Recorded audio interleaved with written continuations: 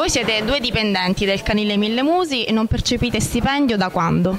Eh, praticamente il comune ha erogato l'ultima fattura pagando il mese di gennaio. In più ha dato un piccolo anticipo di febbraio eh, pari a 29 mm, mila euro qualcosa del genere. Dunque noi non recepiamo lo stipendio dal mese di gennaio. Quindi dal mese di febbraio nessuno percepisce stipendio e si va avanti con le donazioni per garantire l'alimentazione ai cani Sicuramente noi diamo la precedenza, anche in accordo con i dipendenti, diamo la precedenza ai cani che non possono sicuramente non avere il cibo giornaliero, non avere la pulizia necessaria o le cure necessarie. La situazione è diventata tragica, nel senso che i dipendenti hanno grossissime difficoltà anche a venire a, a, lavorare. Noi continuiamo a salire perché là la mattina ci aspetta Teresa, ci aspetta Golia, ci aspetta eh, Cici, ci aspetta Pucci e, chi, e tutti gli altri eh, tre, eh, 400 cani che sono là, i quali la mattina guardano noi e da noi chiedono una spiegazione.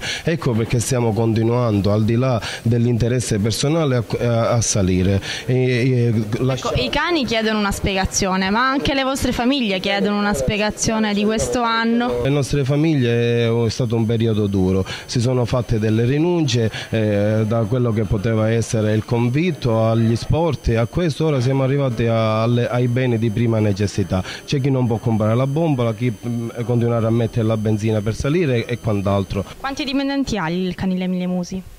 Il canile Mille Musi ha sei dipendenti e naturalmente l'attività viene fatta dai dipendenti e dai volontari che non percepiscono nulla. Oggi eh, siete qui lavoratori, volontari, lei che è il commissario per chiedere risposte all'assessoria all'acqua, mm, che cosa vi è stato detto?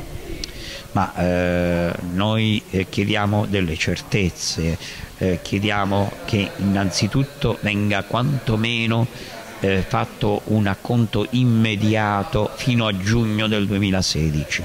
Chiediamo che i dipendenti possano capire qual è il loro futuro. Vorremmo sapere cosa intende il proprietario dei cani, cioè il sindaco, cosa intende fare con questi cani.